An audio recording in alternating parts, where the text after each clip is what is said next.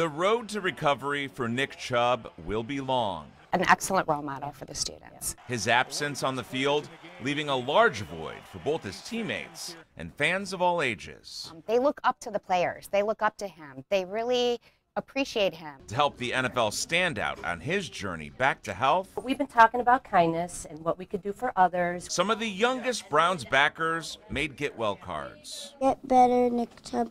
Go Browns. Thank you for being a a great player. Dear Nick Chubb, I hope you get better soon.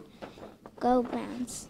I hope you feel better soon. I know when you go back to play, you'll be good at football. Second grade teachers Maria Van Gelder and Ruth Klingen came up with the idea after using Chubb's season ending collision to talk about the emotional zones the running back might be experiencing. Zones like anger, um, upset, Sad. sad. And so we said, what can we do to help him? And Salvatore was all in from the start. I was upset You were upset? because you're one of my favorite players. Here's the message he shared with number 24. So on the front it says Go Browns.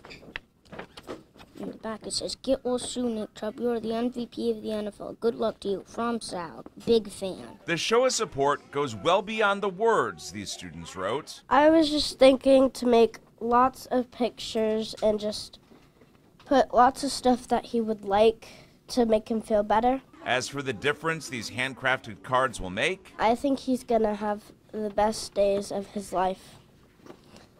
That um, he got all these cards. When he gets all of these, he will feel better. before packing up their cards and shipping them over to the Browns headquarters down the road, they were very, very supportive and said, you make the cards, we'll make sure that he gets them. students gathered in front of the school for a group picture. Say cheese, everybody. One, two, three. Cheese! and to share an extra message of love and support. One, two, three. I